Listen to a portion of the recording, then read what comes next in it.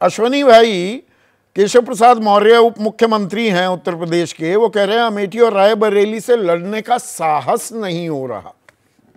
साहस नहीं हो रहा या आपके दिल की धड़कनें बढ़ी हुई हैं कि भाई रणनीति क्या होगी? आपने भी तो अपनी मुट्ठी बाद में ही खोली है ना? रायबरेली के उम्मीदवार का ऐलान आज ही किया है।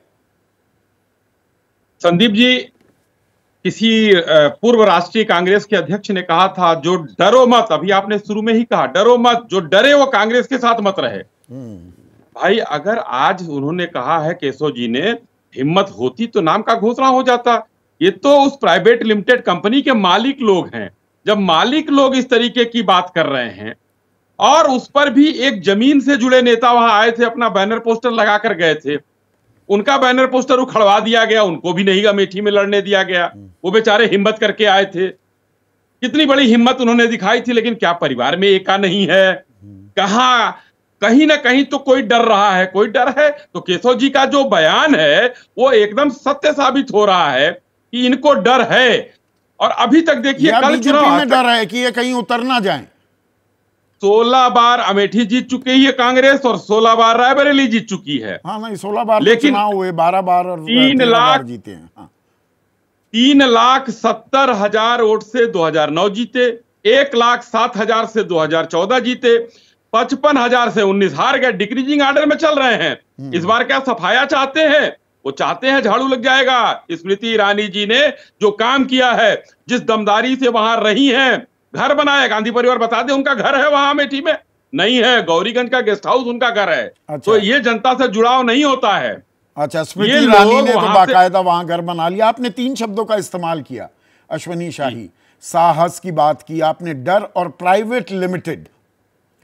तो ये ब्रजभूषण शरण सिंह यौन उत्पीड़न के गंभीर आरोप यौन शोषण के देश की आन बान शान हमारी महिला पहलवानों के साथ दुराचार करना। तो ये कौन सा डर था कि उनका पत्ता नहीं काट पाए? आप तो 400 पार और 80 में से 80 यूपी जीत लेंगे तो उनके बेटे को ही दे दिया।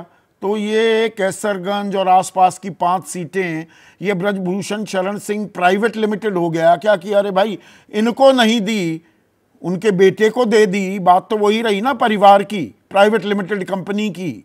आपकी मजबूरी क्या थी? आपका डर क्या बात रही। आप आरोप उन करण भूषण के ऊपर आरोप है कोई? अच्छा। आप आ, कोई आरोप तो परिवार में मिला और कोई नहीं मिला। एक कैसरगंज में गोंडा में कोई और बीजेपी कार्यकर्ता या नेता नहीं है चुनाव में उतारने लायक। तो ये ये मीडिया तय करेगी? हाँ। अब मैं आपको तो ये बीजेपी तय करेगी? कांग्रेस क्या कर रही है? आप ही के सवाल को पलटकर आपसे पूछूँ। आप तय करेंगे कांग्रेस क्या कर रही है? मैंने अगर मीडिया तय नहीं करेगा और हम कोई नहीं होते तय करने वाले। वो देखिए अगर बहुत अच्छा रहेगा कि ब्रजभूषण शरण सिंह के परिवार की तुलना गांधी परिवार से आपने किया तो बड़ा शानदार है। ये तो मतलब कांग्रेस के लिए शर्मिंदगी की बात है भाई। अगर ब्रजभूषण शरण सिंह का परिवार कहा गांधी परिवार कहा देश का राजा अच्छा। शाहजादा राहुल गांधी शाहजादे किस बात का डर था? काट देते भाई। नौ में 2009 में ब्रजभूषण शरण सिंह वहाँ से चुनाव लड़े। एक लाख छियानवे हज़ार के आसपास वोट पाकर चुनाव जीते समाजवादी पार्टी के साथ। अच्छा। उसके बाद वो चुनाव तीन लाख इक्यासी हज़ार पाए। भाजपा में आ गए मतलब जीत पैमाना है। आरोप कितने भी गंभीर क्यों ना हो। विनेबिलिटी सबसे बड़ा फैक्टर है। एक दिन अभय दुबे ने मेरे कार्यक्रम में यही बात की थी। जब प्रज्वल रवन्ना की बात थी प्रज्वल रवन्ना की तो जानकारी थी। देवराजे गौडा ने 8 हाँ, हाँ, दिसंबर 2023 को बता दिया था। दो हज़ार नौ सौ छिहत्तर वीडियोज़ की जी पड़े हुए हैं पेन ड्राइव में पड़े हुए हैं। तब विनेबिलिटी के चलते प्रज्वल रेवन्ना को खड़ा कर दिया आपने। बहुत शानदार सवाल है। दो महीने पहले हमारा उनका गठबंधन होता है। हाँ। उनके पिताजी पीडब्ल्यूडी मिनिस्टर सिद्धारमैया जी के साथ रहते हैं। हम्म। और उनका बयान आया था पाँच साल पहले का वीडियो दिखाया जा रहा है। हम्म। ये चीज़ तो का और सुनिए भागते कहाँ से हैं वो लोग? हम्म। वो अपराधी है। तेईस तारीख को मुकदमा दर्ज होता है सिद्धारमैया जी की सरकार।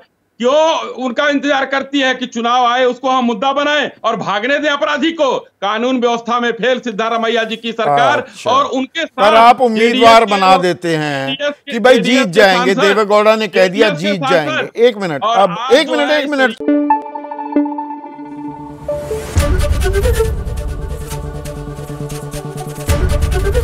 ABP news. आपको रखे आगे।